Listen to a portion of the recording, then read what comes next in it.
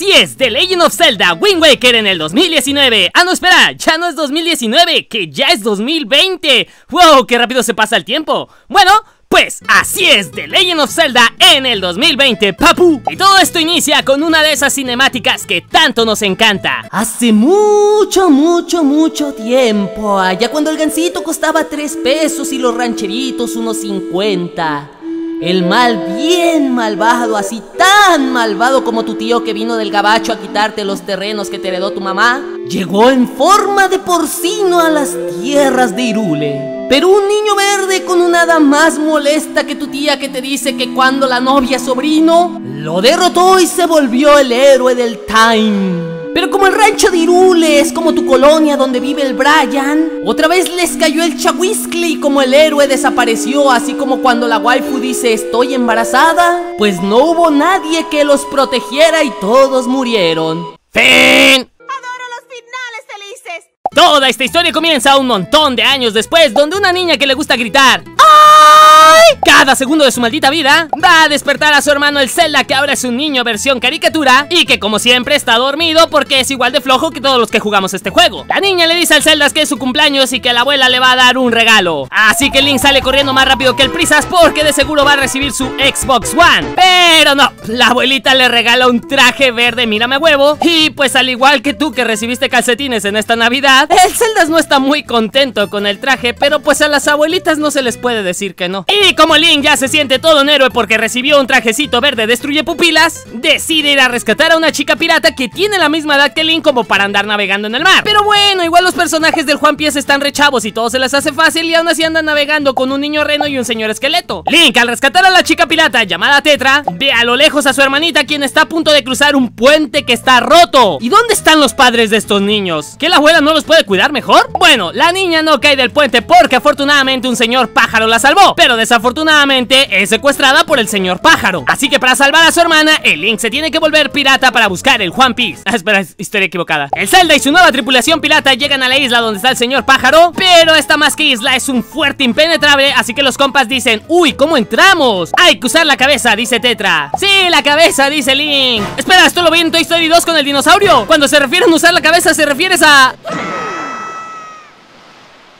¿Ven? Por eso no se puede confiar en los piratas ¿Se imaginan que el niño verde se hubiera roto el cuello por esa manera tan irresponsable de lanzarlo? Afortunadamente el lanzamiento salió bien y más afortunadamente Link encuentra a su hermanita y a otras dos mocosas que no vale la pena relatar en esta historia Pero no hay tiempo para abrazos y lagrimitas porque el señor pajarraco se lleva a Link y ahí vemos al más malo malote malito Quien en vez de ordenarle a su pájaro que se coma a Link o que lo mata a picotazos Bueno ya saben, algo core para un juego que es de toda la familia Simplemente le dice que lo lanza hacia el agua y ya eso hace. Y el Link se queda flotando a la mitad de la nada, pero como es un personaje principal de videojuegos, tiene la suerte de que algo lo rescata. Link despierta y dice, pues ya, me morí, soy Renú para esto, F por mí. Pero una voz le dice, no está muerto, compa, fierro pariente. El Link se queda todo asustado porque aparte de estar muerto está escuchando voces norteñas y el que le está hablando es el propio barco, sí, si a eso se le puede llamar barco, en el que está acostado. El Link se cae de miedo porque no solo está muerto, sino en compañía de un barco norteño que habla, que no está muerto, compa! ¡Anda vivito y coleando, raza! Le dice el barco y ya con eso convence a Link de que está vivo y también lo convence de ir a buscar unos extraños cosos para buscar una espada maestra para así poder derrotar a la señora Ave. Y con eso poder rescatar a su hermana que tendrá que esperarlo en ese sitio el tiempo que a Link se le hinche porque esta vez se olvida que tiene que rescatar a su hermana y se pone a hacer distinto tipo de actividades como romper vasijas en casas ajenas, lo normal de cada Link. En su camino buscando los cosos se encuentra con un amable señor dragón gordo, con un simpático señor árbol feo y que por eso está forever alone y también se encontrará con sus compas piratas quienes como no tenían una mejor cosa que hacer como buscar a Link porque recordemos que ellos fueron lo que lo mandaron a la verdurita volando en un barril y cuando el pájaro le mandó a volar lejitos estos no hicieron nada para ayudarlo decidieron que lo más conveniente era secuestrar a un tipo porque vende bombas muy caro. Ya de por sí vender bombas debería de ser una práctica ilegal que ningún Zelda debería de estar permitido pero bueno son piratas así que es un juego de niños también no, no crean que van a hacer grandes cosas. Y por último Link se encuentra con un señor pez que habla alto Valirio. Pero el señor Barco funciona a modo Google Translator, así que con toda la información logran encontrar tres estatuas crepis que al ponerle los cosos que Link ha estado buscando en todo su viaje, hacen que salga tremenda torre a mitad de todo el mar. Y en dicha torre sucede algo que todos en el universo de Zelda creíamos imposible. Algo que hará que se te caiga la cara, la patíes por accidente, la patíe toda tu familia, la muerda el perro y la aplaste un carro y... Ok, ok, exagero mucho. En ese templo, Link habla. Imposible. En todos los celdas, incluso en los más actuales, nunca hemos escuchado ni una sola palabra de este sujeto que no sean...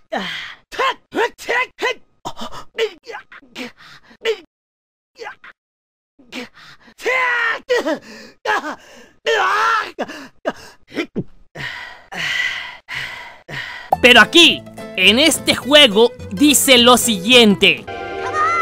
Hermoso, simplemente hermoso, las primeras palabras de Link. Tras superar toda esta prueba, Link activa un portal que lo lleva debajo del mar, así como los caballeros del zodiaco, Saint Seiya para los otacos, donde vemos que el castillo de Irule está hundido. Pero no hay tiempo para preguntas porque Link recuerda que tiene una hermana que rescatar, así que se hace con la espada maestra, va y regresa a la isla del diablo esa, por fin rescata a su hermana, se deshace de un ave que estaba en peligro de extinción, y va y se enfrenta al más malo malote malito que se trata nuevamente del buen Ganondorfo. Pero como su espada maestra no tiene su verdadero poder, el Zelda es derrotado, pero como es un personaje principal de videojuegos y de Nintendo, es oportunamente salvado por la pirata y por el dragonzote que le quema su casita del Infonavit al Ganondorf. Chale, qué gachos. Luego, ¿por qué se vuelven malos estos compas, eh? Que te quemen tu casita, qué cruel. Link, acompañado ahora de la tetra, casi omito la R. Regresan al palacio de Irule bajo el agua y se encuentran al rey. Y bueno, el nombre del rey me va a costar pronunciarlo bien, así que...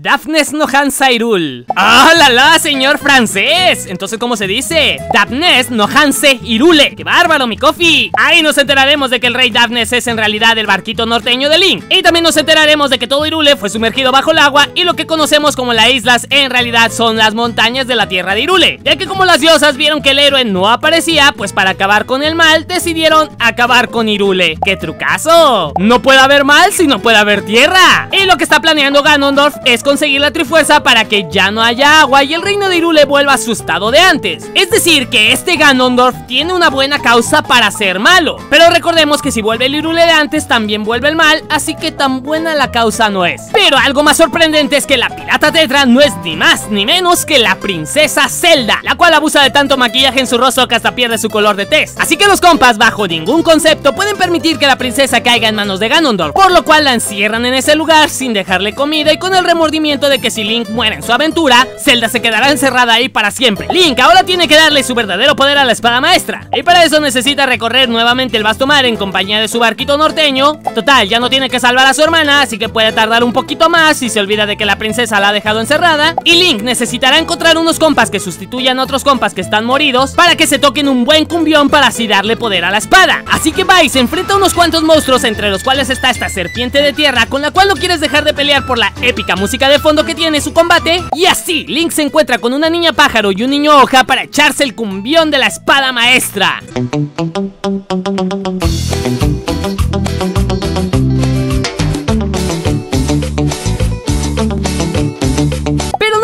El poder de la espada maestra, Link también necesita encontrar el triángulo del valor, por lo que debe de buscar 8 fragmentos de este y al conseguirlo se descubre que Link es el héroe de los vientos. ¡Uy, qué sorpresa! Así, nuestro niño verde regresa por su waifu, pero el Ganondorf ya se la llevó. Así que toca lo inevitable, ir a enfrentar al buen Ganondorf de una vez por todas. Y todo esto será en el Irule sumergido en el agua. ¿Y te acuerdas de todos los jefes finales que has enfrentado hasta el momento? Bueno, en este video solo te he mostrado dos, que es el pajarraco y la serpiente de tierra. Hay más como un 100 pies gigante, una bola de no sé qué y un montón de bichitos bien chistosos. Y bueno, tocará enfrentarlos nuevamente a todos. Digo, por si estabas aburrido los extrañabas. Y si creías que iban a ser los únicos bosses a enfrentar, pues lamento decepcionarte Carlitos, porque hay muchos más. Tocará enfrentarnos a un Shadow Ganondorf, de esos que les gusta jugar al voleibol contigo. Como en todos los celdas tendremos que enfrentar a la forma de puerquito feliz de Ganondorf, que en este caso es una marioneta puerco que parece estar hecha de globos, se ve bien rara la verdad. Y finalmente toca enfrentar a Ganondorf. Aunque antes de esto, este logra juntar la Trifuerza y dice quien quien la toque podrá cumplir cualquier deseo. Esto lo dice estando a 3 metros de la Trifuerza. En vez de estar dando su discurso de villano, debería de estar tocando la Trifuerza y cumpliendo su deseo. Pero no, se queda ahí paradito como que esperando a que alguien más toque la Trifuerza. Y sí, el rey gordito toca la Trifuerza y desea que el reino de Irule quede completamente hundido. O sea, pudiendo desear que el reino estuviera bien y que al Ganondorf se lo llevara la tristeza, total, ya tienen un héroe de los vientos que les ayuda a repeler el mal en la tierra de Irule. Nada, que se inunda el changarro, total. Digamos que el rey no tiene tanta imaginación o ya no quiere ser rey de Irule. Y pues por eso, pues mejor que todo se inunde ya. Luego el rey de Irule se ha hecho un chiste. ¿Por qué el Ganondorf no puede descargar el fornite? Porque no tiene un link.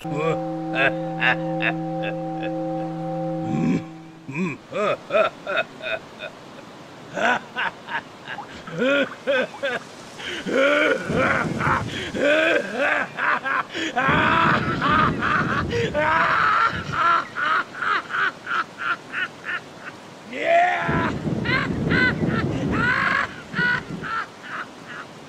En fin, como el Ganondorf ya está delirando y todos sus planes se fueron bien lejitos, toca el enfrentamiento final contra este. Y junto con la ayuda de Zelda, logran derrotar al buen Ganondorf. Pero el Link, que se siente que está en uno de esos animes, de esos bien gores, se pasa de lanza y le encaja toda la espada maestra en la frente al Ganondorf. O sea, no había falta de ser tan agresivos. ¿Has visto el diseño de caricatura que tienes, Link? Por favor, niños te están viendo. Esto hace que por algún motivo, posiblemente censura Chan, Ganondorf se vuelva de piedra y ahora toca escapar del lugar. El rey se queda ahí porque el rey siempre se hunde con su barco o reino. Y Link y Tetra, quien regresa a su estado sin maquillaje, deciden volverse piratas y salir a buscar el One Piece.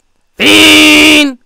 Finalmente, quiero agradecer a todos nuestros queridos Patreons que están ahí para apoyar. Ya sabes que si me quieres apoyar en Patreon, aunque sea con lo más mínimo, tienes el link en la descripción y también tienes mi link al canal secundario y a mi canal de directos. Si el video te gustó, pulgar arriba, presúmelo y compártelo. Si eres nuevo, suscríbete. Sígueme en todas mis redes sociales, como por ejemplo Facebook, donde comparto unos buenos momazos, Instagram, donde estoy mamadísimo, y Twitter para saber más acerca de mí. Así como todas mis demás redes sociales que tienes en la descripción. Y sobre todo comenta para más videos así. Soy God of Coffee y nos sintonizamos luego.